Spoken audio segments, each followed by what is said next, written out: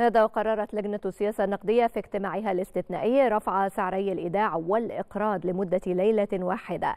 وسعر العملية الرئيسية بمقدار 600 نقطة أساس إلى 27.25% و28.25 من 100% و27.75 من 100% على الترتيب.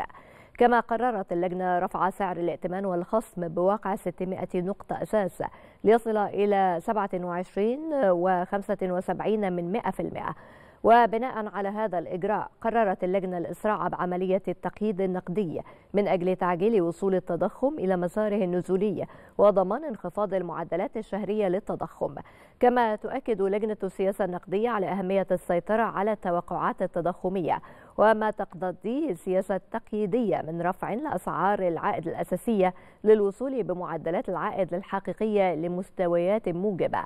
هذا وأكد البنك المركزي التزامه بمواصلة جهوده للتحول نحو إطار مرن لاستهداف التضخم وذلك من خلال الاستمرار في استهداف التضخم كمرتكز أسمى للسياسة النقدية مع السماح لسعر الصرف أن يتحدد وفقا لآليات السوق.